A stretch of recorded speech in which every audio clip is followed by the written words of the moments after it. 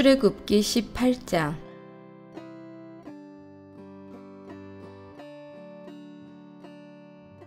미디안의 제사장이며 모세의 장인인 이드로는 하나님이 모세와 그의 백성 이스라엘에게 하신 일, 곧 주님께서 어떻게 이스라엘을 이집트에서 인도하여 내셨는가 하는 것을 들었다. 모세의 장인 이드로는 친정에 돌아와 있는 모세의 아내 시보라와 시보라의 두 아들을 데리고 나섰다.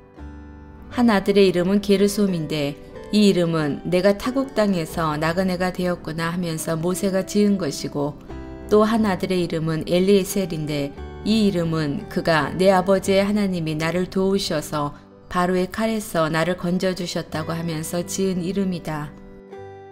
모세의 장인 이드로는 모세의 두 아들과 아내를 데리고 모세가 진을 치고 있는 광야로 갔는데 그곳은 바로 하나님의 산이 있는 곳이다. 그는 거기에서 모세에게 전가를 보냈다. 자네의 장인인 나 이드로가 자네의 처와 두 아들을 데리고 왔네. 모세가 그의 장인을 만나러 나와서 그에게 절을 하고 입을 맞추었다. 그들은 서로 안부를 묻고 함께 장막으로 들어갔다.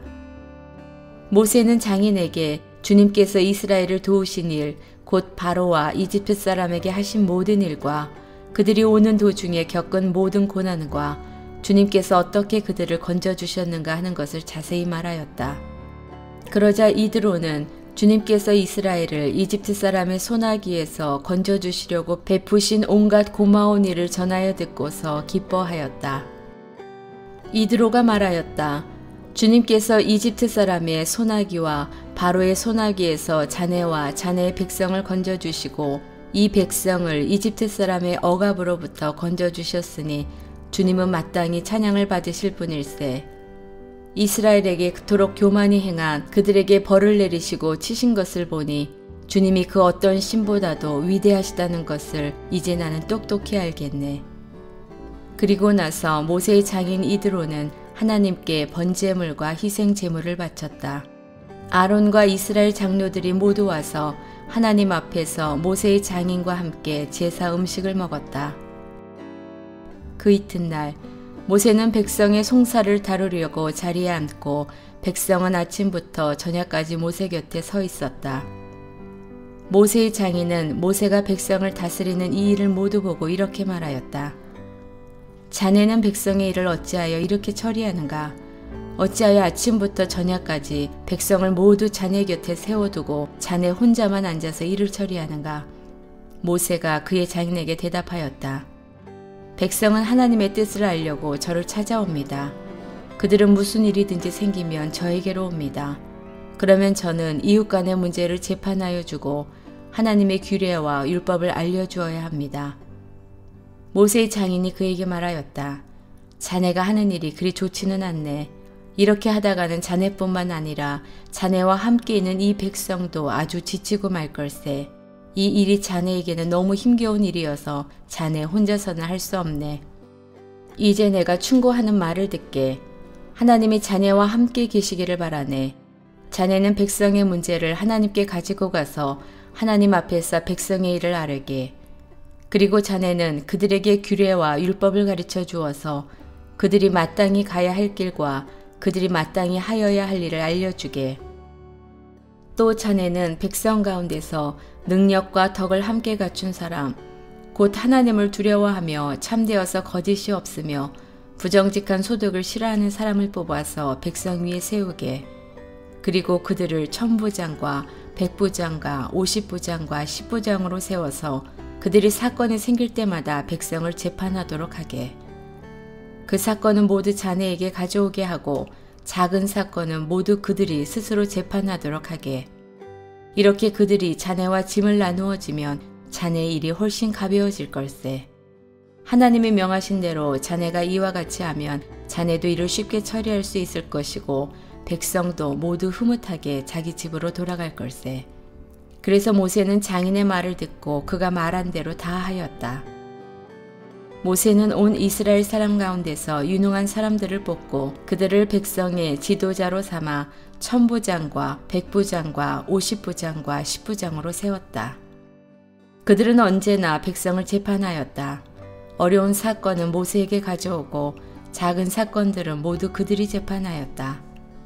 얼마 있다가 모세의 장인은 사위의 배웅을 받으며 살던 고장으로 돌아갔다. 출애굽기 19장 이스라엘 자손이 이집트 땅에서 나온 뒤 셋째 달 초하룻 날 바로 그날 그들은 신의 광야에 이르렀다. 그들은 르비딤을 떠나서 신의 광야에 이르러 광야에다 장막을 쳤다.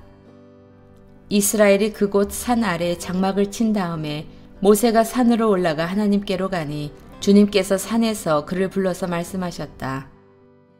너는 야곱 가문에게 이렇게 말하여라. 이스라엘 자손에게 이렇게 일러주어라.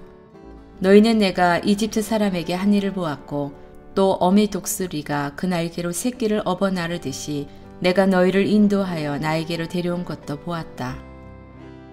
이제 너희가 정말로 나의 말을 듣고 내가 세워준 언약을 지키면 너희는 모든 민족 가운데서 나의 보물이 될 것이다. 온 세상이 다 나의 것이다. 그러므로 너희는 내가 선택한 백성이 되고 너희의 나라는 나를 섬기는 제사장 나라가 되고 너희는 거룩한 민족이 될 것이다. 너는 이 말을 이스라엘 자손에게 일러주어라.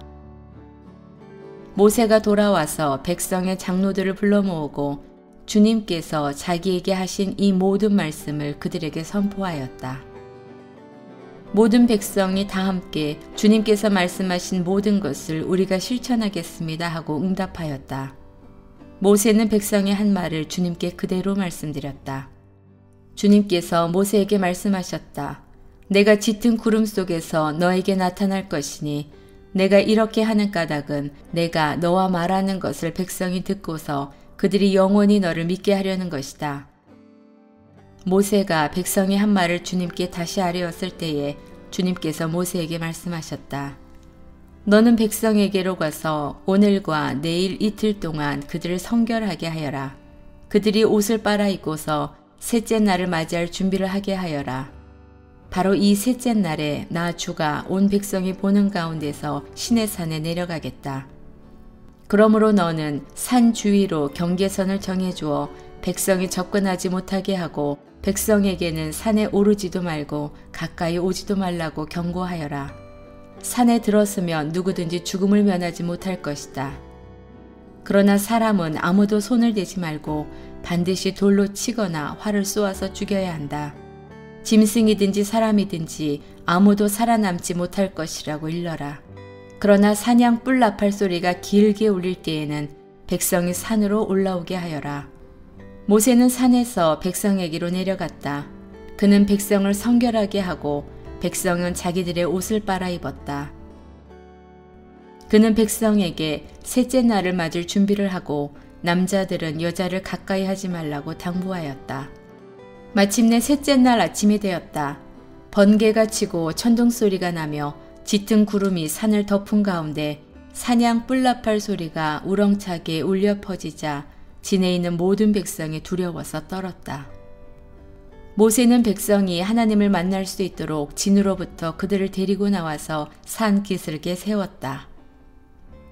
그때 신의 산에는 주님께서 불 가운데서 그곳으로 내려오셨으므로 온통 연기가 자욱했는데 마치 가마에서 나오는 것처럼 연기가 솟아오르고 온 산이 크게 진동하였다. 나팔 소리가 점점 더 크게 울려 퍼지는 가운데 모세가 하나님께 말씀을 아뢰니 하나님이 음성으로 그에게 대답하셨다. 주님께서 신의 산, 곧 그 산 꼭대기로 내려오셔서 모세를 그 산 꼭대기로 부르시니 모세가 올라갔다. 주님께서 모세에게 말씀하셨다. 너는 내려가서 내 백성에게 나 주를 보려고 경계선을 넘어 들어오다가 많은 사람이 죽는 일이 없도록 하라고 단단히 일러두어라. 나 주에게 가까이 오는 제사장도 자신을 성결하게 하여야 한다. 그렇게 하지 않으면 나 주가 그들도 쳐서 죽일 것이다.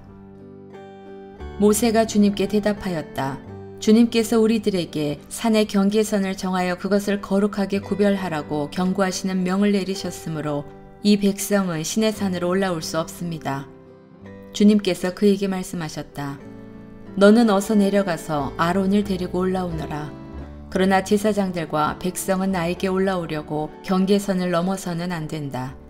그들의 경계선을 넘으면 나 주가 그들을 쳐서 죽일 것이다. 모세가 백성에게 내려가서 그대로 전하였다.